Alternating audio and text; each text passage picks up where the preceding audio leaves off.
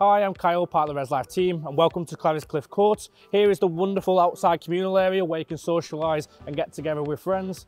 I'll go and show you inside in the bedrooms and the kitchen. Hi, welcome to the kitchen, the communal area. Here you'll find your dining table, your chairs, your fridge freezers, your cupboard space that you need, the oven, the microwave and the kettle. Here in Clarice Cliff, there's a four to six occupancy, all en suite. Here in the bedroom, you've got a desk, a chair, and a single bed. The duvet and pillows are not included, so please bring them. Uh, you've got a wardrobe, some shelves, and an ensuite. In the ensuite, you'll have a shower, a toilet, a shelf, and obviously your sink. Here, everything you need at Clarice Cliff Court. Thank you for joining us on our tour. If you'd like to see the accommodation in person, book online. Or if you've got any questions, contact us via telephone, email, or social media.